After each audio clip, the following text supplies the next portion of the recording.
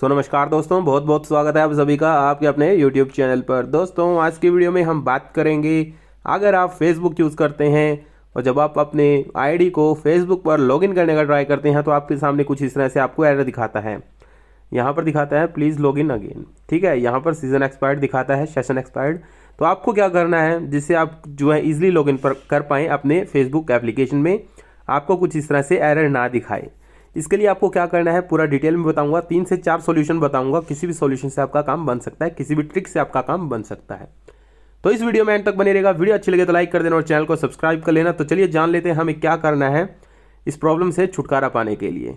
अपने फ्रेंड्स के साथ ज़रूर से शेयर कर देना अगर आपको वीडियो पसंद आती है तो।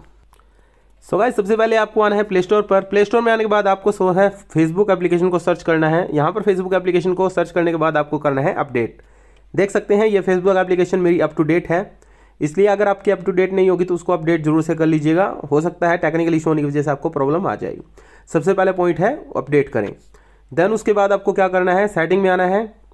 स्क्रॉल करना है नीचे की तरफ़ और यहाँ पर ऐप्स पर आना है। मैनेज ऐप्स पर आना है। यहाँ पर आपको फेसबुक एप्लीकेशन को सर्च कर लेना है। याद रखिए, जो मैं आपको बता रहा हूँ सेम प्रोसीजर आप करिएगा। फेसबुक एप्लीकेशन को ओपन करने के बाद स्टोरेज पर क्लिक करिएगा क्लियर डाटा पर आइएगा। क्लियर और डाटा पर आइएगा। इसका क्लियर ओल्ड डाटा कर लीजिएगा।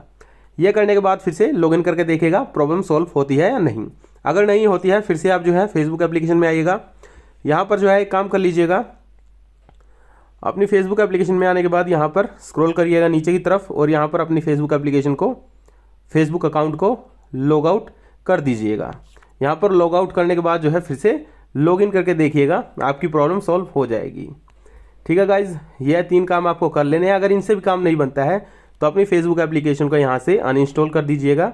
यहाँ से अनइंस्टॉल करने के बाद जो है, फिर से अपने प्ले स्टोर में जाने के बाद इसको इंस्टॉल कर लीजिएगा। तो आपकी problem hundred and one percent solve हो जाएगी।